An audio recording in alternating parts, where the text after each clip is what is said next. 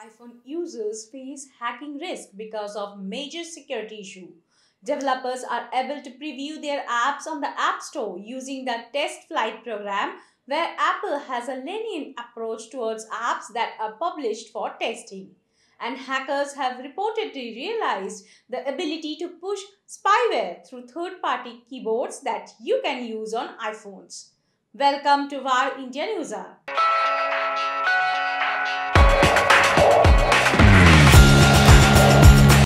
Apple has long touted the privacy and security of its platforms, particularly iOS, the operating system used in iPhones.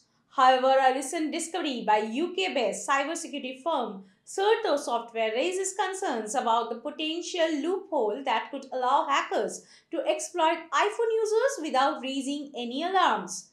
Certo's research found that Apple's TestFlight program, which allows developers to distribute pre-release versions of their apps for beta testing, has lax security policies. This laxity could allow malicious actors to distribute apps distinguished as legitimate ones, enabling them to spy on iPhone users through third-party keyboards.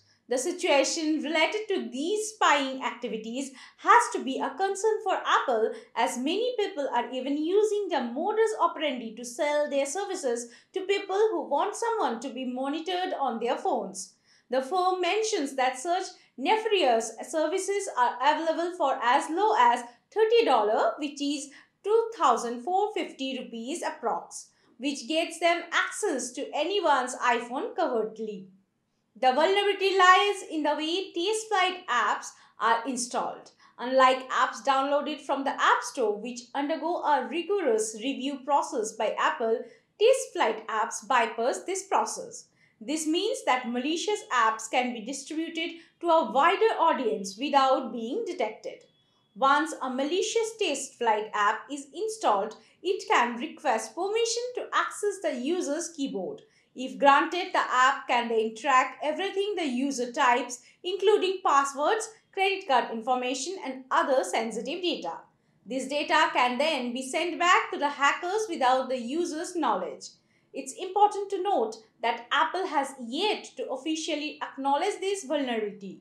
However, the research by Certo Software raises serious concerns about the potential for hackers to exploit Apple's TestFlight program. Let's look into today's headlines. Google modifies its cryptocurrency trust ad policies. Google has revealed modifications to its advertising guidelines that in some cases permit digital coin trusts to run advertisements. Google Ads will enable qualified advertisers to promote their products to the general public in the United States starting on January 29, 2024. To get certified, advertising must, however, abide by regional regulations and fulfill licensing standards. Samsung introduces the New Beginnings program. Samsung launched the New Beginnings campaign in India with the aim of boosting sales amid the wedding season. When there three or more Samsung products are purchased, customers might receive a 7% discount. For new home setups, it provides product bundles and specialized help. The sales are good through February 29, 2024 and can be applied on smartphones, wearables, TVs, tablets, audio items and more. TikTok becomes the first app to receive $10 billion in consumer spending. Being the first non-gaming mobile app that earned $10 billion in sales through the Apple App Store and Google Play, TikTok has reached a noteworthy milestone. With this achievement, TikTok joins the ranks of high earners of games like Candy Crush Saga, Monster Strike, Honor of Kings, and Clash of Clans. 18 fake loan apps on Google Play Store revealed with more than 12 billion users. 18 deceptive loan applications on Google Play Store have been unveiled by cybersecurity experts. The applications collectively have more than 12 million downloads. These apps with enticing promises are actually tools to dupe users compromising their personal and financial information. The SPY Loan Network specifically sets its sights on potential borrowers across Southeast Asia, Africa, and Latin America. Ola Electric's 5,840 crore rupees IPO is expected by next week. Ola Electric is getting ready to send the Securities and Exchange Board of India SEBI its draft red herring prospectus by December 20.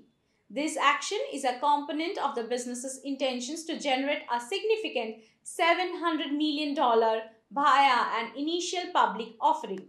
By early 2024, the company hopes to be valued between 7 to 8 billion dollar. The IPO is intended to raise money for the development of a lithium ion cell manufacturing facility and the growth of Ola Electric's electric vehicle business. That's all for now. Please like, share, comment and subscribe to VAR India magazine. You can download the VAR India app from Google Play Store and Apple App Store for more news and updates. Stay tuned. Thank you.